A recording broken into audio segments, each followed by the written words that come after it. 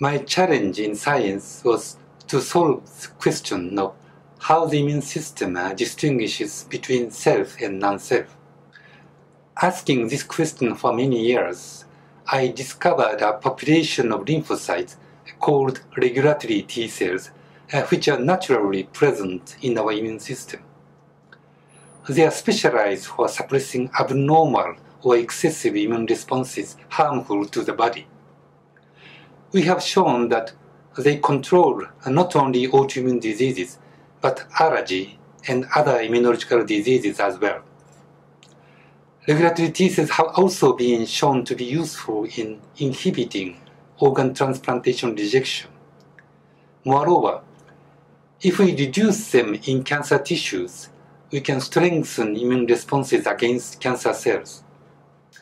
The application of regulatory T cells into the clinical sector is now being studied worldwide in many laboratories and clinics.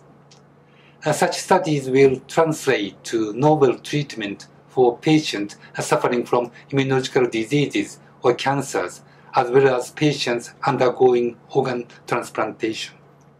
My recognition as an awardee of this international award is owed to my colleagues and friends in many countries working together in these years.